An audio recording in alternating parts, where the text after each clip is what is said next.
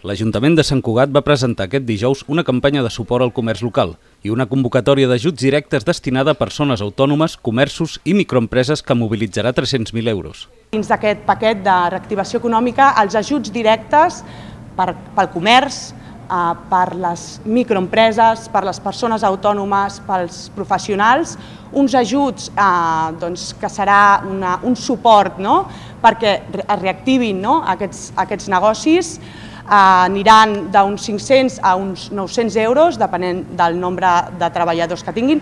És una sol·licitud que es pot fer, ho trobaran a la web de l'Ajuntament, però és molt senzilla. Hem intentat que sigui el més àgil i senzilla possible. De fet, vull dir, amb una declaració responsable ja, ja, ja ho podran eh, sol·licitar. Aquest ajut serà una prestació única d'entre 500 i 900 euros en funció del nombre de persones treballadores.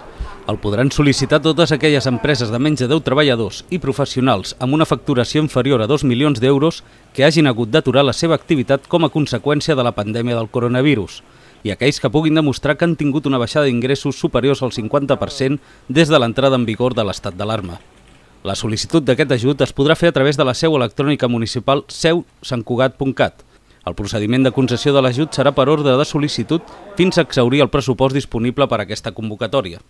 Aquesta campanya que avui presentem, aquesta campanya de, de, de, de, de donar suport, d'acompanyar el comerç en aquesta nova normalitat que dèiem, perquè no ens enganyem, la normalitat encara no és ni de bon tros una normalitat, i que tampoc no ho serà en els propers mesos i que això ens condicionarà també els propers anys. I això n'hem de ser conscients totes i tots per tal de poder afrontar aquesta situació amb dosis de realisme que és el que ara, que és el que ara necessitem. No?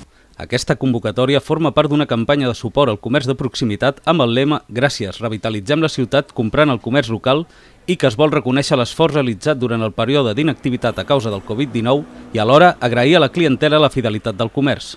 Aquesta campanya ha estat consensuada amb els representants de la taula d'emergència econòmica i comerç i pretén valorar en aquest període de desconfinament el servei, la qualitat i el tracte proper de totes les persones que han estat al capdavant dels establiments a Sant Cugat, oferint tota mena de productes i serveis.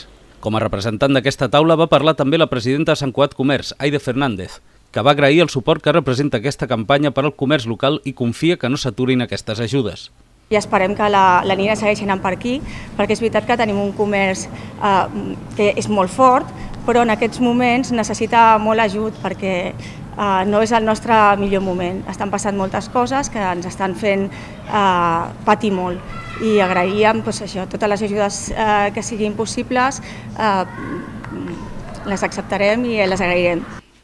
El responsable dels mercats municipals de Mirasol i Volpelleres, Santi Carol, va agrair a l'Ajuntament tot el suport que han tingut en els pitjors moments de la pandèmia perquè en els mercats es pogués desenvolupar l'activitat essencial d'una manera segura i es va mostrar optimista que aquesta crisi suposarà una oportunitat pel comerç local.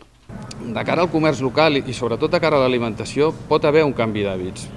La gent pot tirar cap, cap, més cap a, un, cap a un tema de salut, de comerç de proximitat, hem, hem d'intentar aprofitar aquesta petita oportunitat que pot ser que se'ns doni, no? perquè un canvi d'hàbits, amb, amb el que hem tingut a sobre, jo crec que es donarà. Eh? Per la seva banda, el tinent d'alcalde de presidència, Pere Soler, va declarar que l'actual equip de govern té un compromís clar amb el comerç de proximitat i que, si cal, buscarà suport allà on faci falta.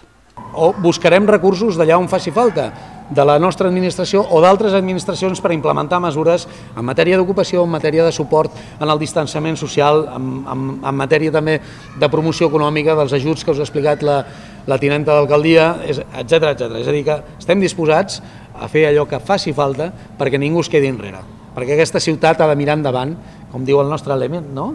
Eh, una ciutat endavant i que per tant doncs, hem d'intentar entre tots eh, ajudar en el nostre teixit eh, productiu. La imatge gràfica de la campanya ha comptat amb la participació de comerciants locals i de diferents sectors i ha anat a càrrec del fotògraf Marc Kevi. Aquesta iniciativa forma part del pla de contingència adoptat per l'Ajuntament, amb la voluntat de donar suport a l'activitat econòmica de la ciutat en plena crisi del coronavirus.